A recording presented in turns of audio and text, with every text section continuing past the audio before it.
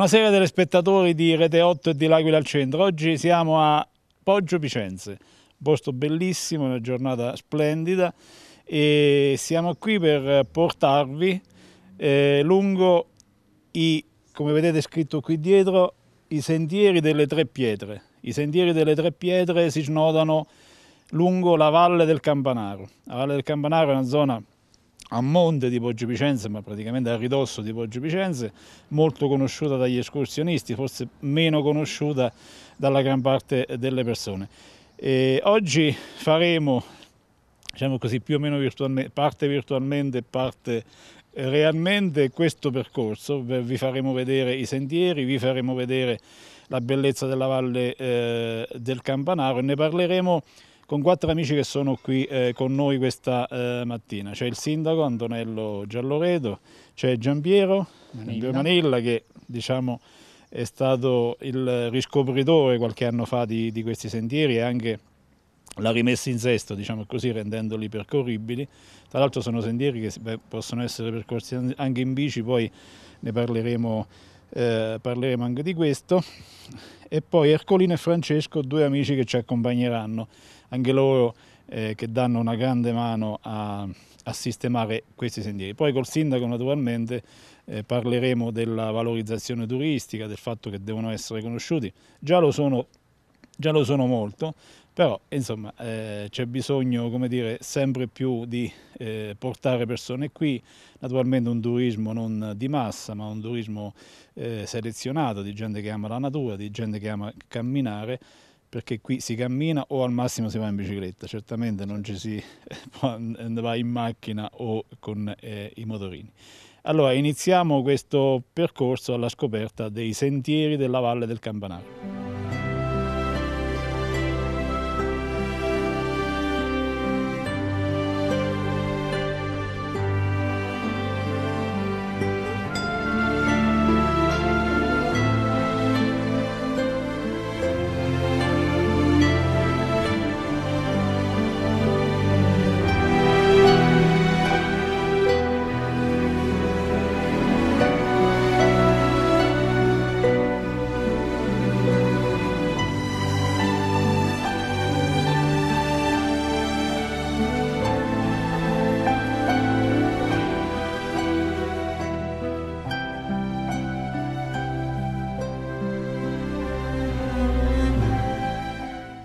Dopo un percorso un po' accidentato siamo arrivati qui, ma percorribile però, siamo arrivati qui nel cuore della Valle del Campanaro, dove eh, partono altri sentieri, in particolare qui mi diceva Giampiero il sentiero dello sportivo che, che, è un sentiero per quelli un po' più allenati, quindi non certo, non certo per me. Eh, allora, naturalmente eh, noi vi vogliamo raccontare un po' anche la storia di questo, eh, di questo posto. Fino a prima della seconda guerra mondiale la Valle del Campanaro è il cuore economico di Poggio Picenze e, e dintorni, cioè qui si coltivava grano, c'erano vigne, si faceva la legna e naturalmente tutta questa attività diciamo così, agricola legata a, alle necessità degli abitanti di Poggio Picenze ha portato nel tempo anche a, dire, a, far sì che qui ci fossero a un certo punto pochissimi alberi, nel senso che molti, eh, molti erano stati abbattuti per le esigenze appunto della popolazione. Negli anni 50 ci fu invece una riforestazione e, e il risultato è quello, è quello, che vediamo. Allora, eh, comincio a chiedere a Giampiero Manilla che mi ha detto appunto di precisare, noi parliamo con Giampiero Manilla, ma in realtà quello che vi racconterà è un racconto corale, nel senso che eh, lui insieme ad alcuni suoi amici che poi ci, eh, ci dirà, a un certo punto, eh, quattro anni fa, cinque anni fa, eh, viene da queste parti, ma naturalmente per Poggio Picenze questi luoghi sono luoghi notissimi e anche abbastanza frequentati. E, e scopre che la necessità di risistemare alcuni sentieri. Allora, Giambio, che cosa avete fatto voi e i tuoi amici a partire da 4-5 anni fa?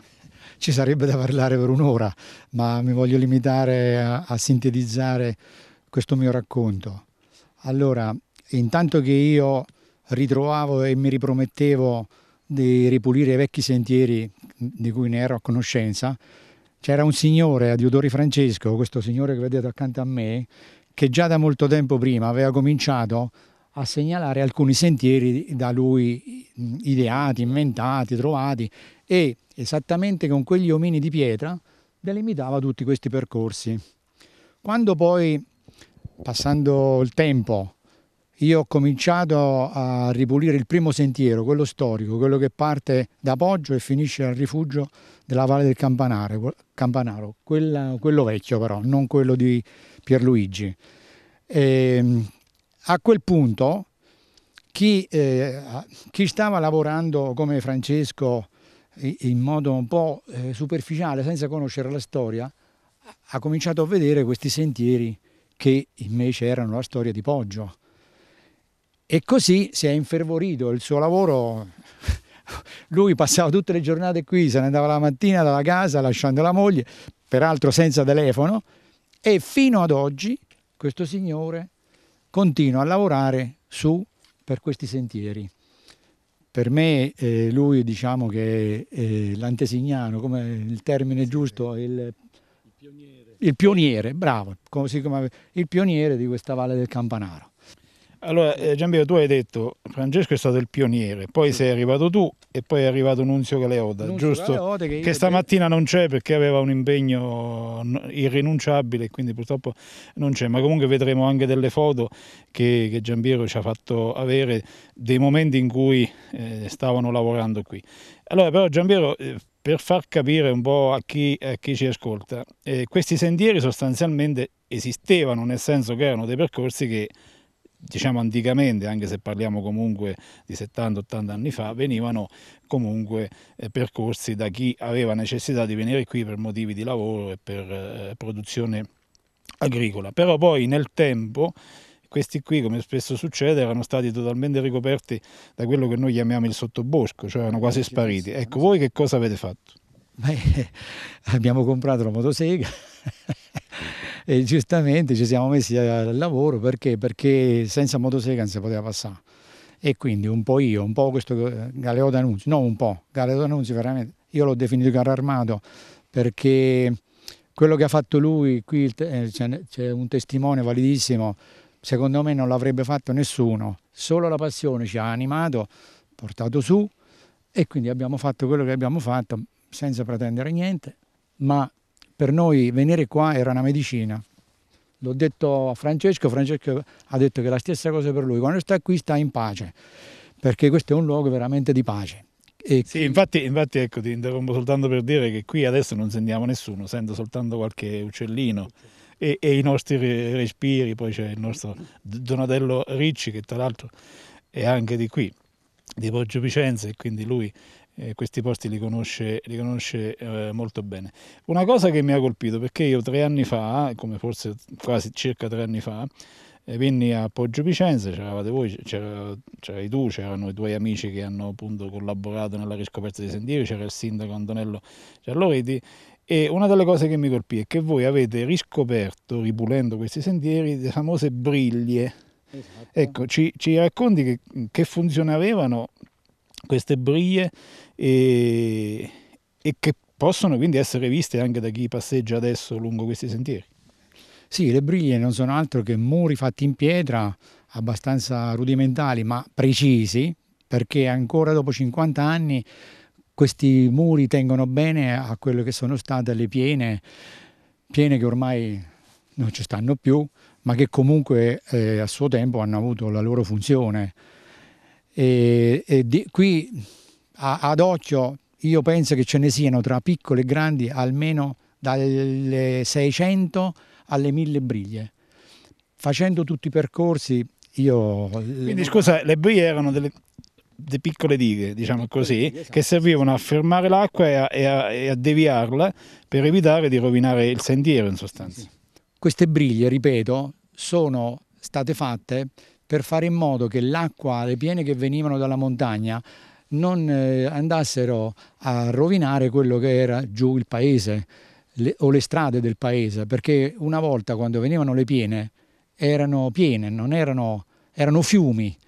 Invece con queste sono stati fermati e quindi si è potuto fare quello che poi vediamo adesso qua. Andiamo un po' più nel dettaglio di questi sentieri, perché voi avete riscoperto i sentieri, mm, tu mi hai detto 25 km, all'epoca parlammo addirittura di 37 km. Sì, Quindi... 25, ripuliti, 25 ripuliti di sana pianta, cioè non ci si poteva entrare, erano impenetrabili, mentre gli altri, qualcuno che stava più alto, dove la vegetazione era meno intensa, li abbiamo soltanto risistemati perché? perché poi le frane, qualche alluvione aveva rovinato anche questi di sentieri. Quindi cui, diciamo, diciamo che fra tutto noi abbiamo messo su 50 km di, di sentieri. 50 km, ecco, sì. però la cosa curiosa è che voi avete dato anche dei nomi a questi sentieri. L'abbiamo detto all'inizio, abbiamo visto quando siamo partiti eh, il percorso dei tre sentieri, no? Sì. Allora, eh, come si chiamano? No, I sentieri delle tre pietre. I sentieri delle tre pietre. Allora, spieghiamo a chi ci sente perché i sentieri delle tre pietre e che nome gli avete dato a questi sentieri. Allora, diciamo che i sentieri delle tre pietre hanno preso questo nome dal fatto che ogni sentiero di quelli che sono stati realizzati, te lo preciso, per venire a fare il rimboschimento, perché a loro servivano strade comode per poter accedere a questi luoghi. E quindi fare questi sentieri significava farli bene e farli durare nel tempo. E per farli durare nel tempo con eh, le acque torrenziali sarebbe stato difficile perché qui la, la, la, la, la cura non l'avrebbe fatta nessuno. Per cui ogni 30-40 metri su questi sentieri sono state messe delle pietre oblique al camminamento in modo da far defluire l'acqua sempre fuori dal sentiero, in modo che l'acqua non li scavasse. E infatti li abbiamo ritrovati tutti interi, a parte qualcuno sulla montagna di Vicenze, che però dobbiamo andare a scoprire ancora fra, fra qualche tempo, appena possibile. Quindi i sentieri delle tre pietre per questo motivo, perché ci stanno le tre pietre che si ripetono per migliaia di volte. Quindi Giampiero, eh, andiamo sui nomi, sì. i nomi che avete dato voi a questi sentieri. Perfetto, allora i nomi innanzitutto eh, li abbiamo condivisi, nel senso che tante volte che ci siamo ritrovati insieme, io, Nunzio e Francesco, a ripulire questi sentieri, a seconda di quello che l'animo ci diceva, li abbiamo chiamati Sentiero dello Sportivo, perché era un sentiero abbastanza ripido, fatto per persone allenate, e, e ci è venuto da solo il nome, come ci sono venuti da soli tutti gli altri. Quello storico è quello che ripercorre proprio un percorso che facevano dal paese con gli asini a piedi per venire su fino al rifugio e quello è quello storico dove c'è una diga da, da, rivedere, da scoprire ancora, bellissima, fatta in pietre squadrate, però io devo essere sincero, da come è stata fatta quella diga c'è qualcosa di strano che bisognerà andare a vedere e consultare qualcuno che ne capisce. Poi sta il sentiero del, della salute, che è quello che sale in, nel modo più graduale possibile fino ad arrivare in cima alla montagna. C'è quello della selva che passa per l'80% in mezzo al bosco di querce. Poi c'è il giro del pilone e del muro dei giganti, che è quello più piccolino e che si potrebbe fare tutti i giorni perché è veramente accessibile a tutti. E, e, ripeto, sono tutti nomi che gli abbiamo dato insieme man mano che si lavorava. Oh ragazzi, come vogliamo chiamare questo sentiero? Va bene quello dello sportivo? Va bene quello dei 33 tornanti? E così siamo andati avanti, appunto condividendo e dando i nomi a questi qua, che sembrano poi bei nomi.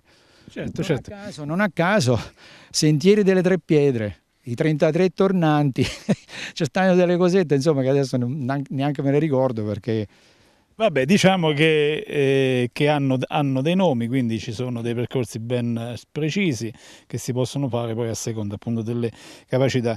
Eh, noi abbiamo parlato della, degli alberi, delle piante che ci sono, che ci sono qui. E, ecco, ci puoi dire diciamo, in maniera indicativa quali sono le specie diciamo, arboree più, più presenti? Tra l'altro ho letto, questa l'ho trovata proprio in preparazione di questa giornata. A un certo punto ho letto, ho trovato sullo sterminato mondo di internet che la peculiarità che rende la Valle del Campanaro, se non un posto unico, almeno raro, è la presenza di Dictamus albus, il dittamo, che è un'erba medicinale. Mi confermi esatto. questa cosa? Eh, sì che te lo confermo. E poi qui abbiamo un esperto che è Ercolino Rainaldi che te ne può parlare meglio di me. E allora aspetta Ercolino, eh, di, dimmi, parlami un attimo di, di, di, questa pianta medicinale che qua addirittura dice citata nella letteratura Umberto Eco, Giovanni Pascoli, Orlando Furioso, insomma praticamente è una pianta medicinale conosciuta già dal, dall'antichità.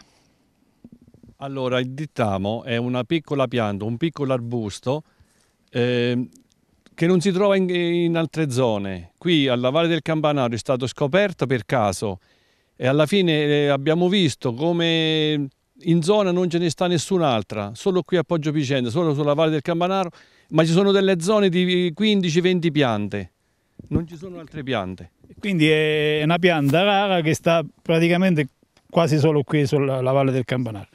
Vabbè, abbiamo parlato anche di questa pianta particolare, adesso parliamo con il sindaco Antonello Gialloreti che, eh, come dire, eh, sindaco, adesso Giampiero e i suoi amici hanno lavorato qui, hanno riscoperto, e devo dire che il posto è bellissimo, poi oggi appunto la giornata veramente è incredibile con questo sole nemmeno troppo caldo, poi qui c'è molta ombra naturalmente. E il ruolo del sindaco è il ruolo politico, il ruolo amministrativo, cioè che è poi sostanzialmente quello di dare seguito e di valorizzare anche attraverso dei progetti tutto questo che abbiamo già visto che la natura dire, ha donato a tutti noi e a Poggio Picenza. Ecco, su questo punto di vista mi ricordo tre anni fa, quasi tre anni fa, parlammo di alcuni progetti. Certo. Qual è oggi la situazione, Sindaco? Beh, intanto io volevo ringraziare gli amici Giampiero, Nunzio, Francesco ed Ercolino e tutte le altre persone che si sono eh, preoccupate e occupate di riportare alla luce questi vecchi sentieri facendo un lavoro eh, immenso e molto delicato e ci hanno portato alla luce questi vecchi sentieri che come dicevamo prima eh, superano anche i 50 km.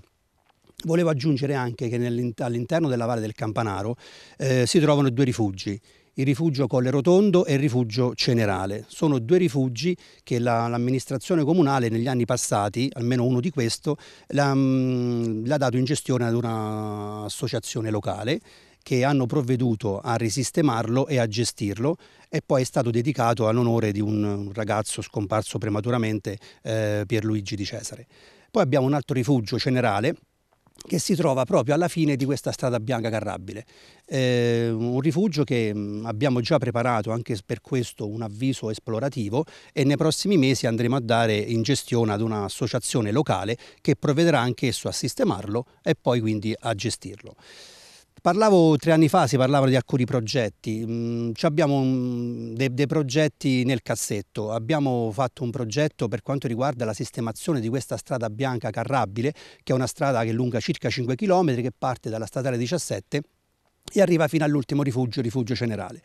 Abbiamo un progetto della sistemazione di questa, di questa strada per eh, eliminare speriamo del tutto il rischio idrogeologico, un progetto che abbiamo finanziato con fondi diversi da fondi di bilancio, circa 80 mila euro, ed è un progetto da un valore di circa 700 mila euro. Quindi rimettere in su questa strada, attualmente è un finanziamento che non, non trova ancora finanziamento quest'opera, però stiamo vedendo di, di buttarci su diversi canali per poter vedere realizzata anche quest'opera.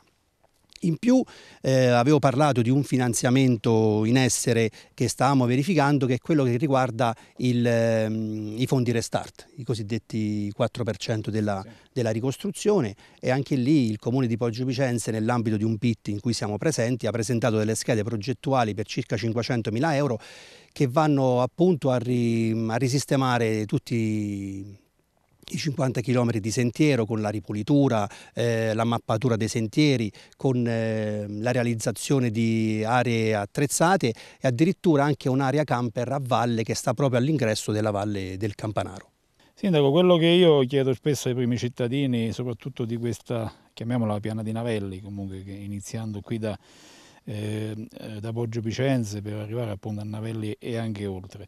Cioè eh, noto che da parte dei primi cittadini c'è uno sforzo in questi ultimi anni di valorizzare il territorio, al di là della famosa ricostruzione privata, che poi alla fine ti chiederò anche qualche cenno su, sulle problematiche relative alla ricostruzione eh, di Poggio Picenze. Voi per esempio qui avete investito molto anche sulla riscoperta dei trattori, se non ricordo male. Qui alla Valle del Cammanara avete fatto molte iniziative anzi vorrei che ci accennassi un attimo anche a eh, questo, questi percorsi per le biciclette, biciclette anche elettriche, perché qui naturalmente con i motorini il cross non è, non, non è possibile.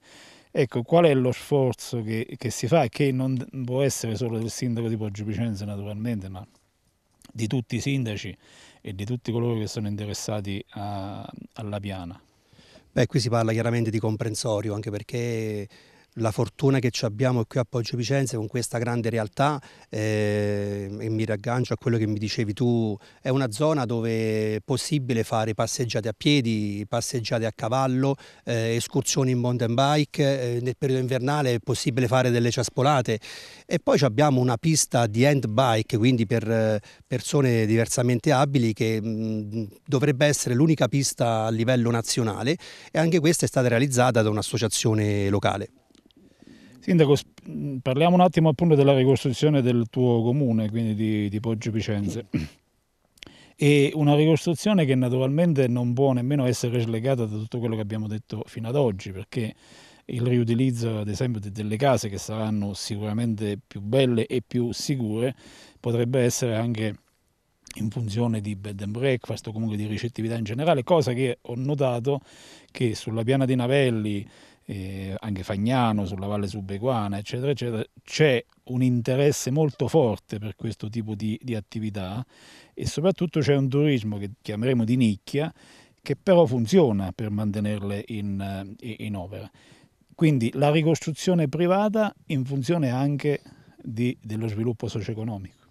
Sì, sicuramente non può essere slegata la ricostruzione da, da, tutto questo bene che abbiamo a livello turistico. Ehm, diciamo che negli ultimi sei anni a Poggio Picenza la ricostruzione sta andando a gonfie vele, eh, sono stati finanziati circa 32 aggregati per 40 milioni di euro in questi ultimi sei anni e già alcuni cittadini che si trovano ricostruita la seconda e la terza abitazione già oggi parlano di poter eh, convertire l'abitazione ad un uso di un bed and breakfast perché si capisce proprio la necessità che a livello turistico turistico si possa avere.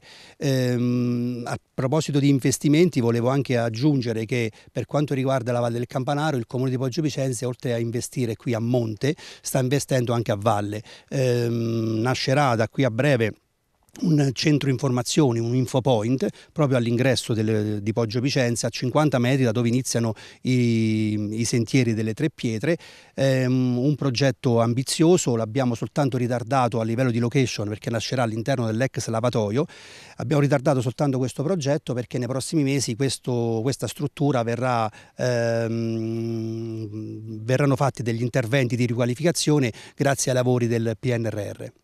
Io vorrei avviarmi alla conclusione di questa nostra chiacchierata con gli amici qui di Poggio Picenze, tornando un attimo a Giampiero. Giampiero, allora tu ci hai detto, abbiamo fatto tante cose, le continuiamo a fare.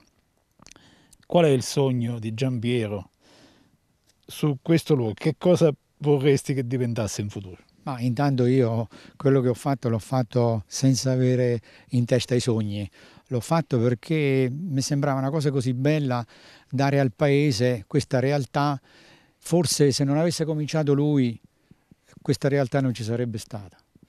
Il fatto che lui aveva cominciato a fare questi sentieri ha spinto me a cercare di fare qualcosa di bello e piano piano ci siamo riusciti e sono contento perché? Perché devo dire la verità, una volta mi sono chiesto ma, ma perché io mi sono dato a fare questo lavoro?